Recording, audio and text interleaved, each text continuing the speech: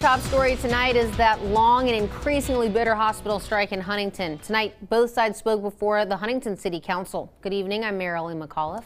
And I'm Rob Macko. At issue was a union proposed resolution calling for the hospital to bargain in good faith, something the hospital says it's already doing.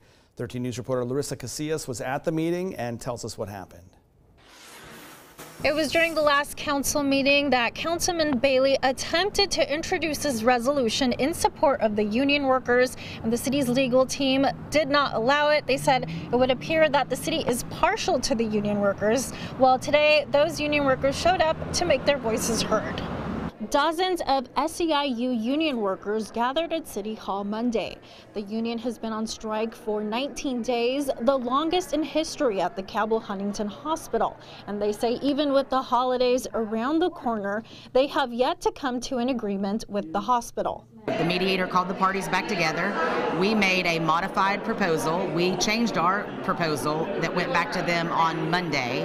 On that Tuesday morning, we came back and the hospital came back with a proposal that was worse than what the workers decided to walk out on. Two hospital workers from the union gave public comment before the council. This hospital prospered, and we want to prosper. We're just trying to pay our bills and not get turned over to a collection agency. They have disrespected, humiliated, and taken our dignity away.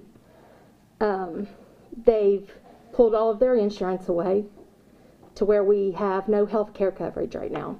And I'm told if the union does not come to an agreement with the hospital, Councilman Pat Jones will attempt to reintroduce this resolution before the council again during the next meeting. For 13 News, Larissa Casillas working for you.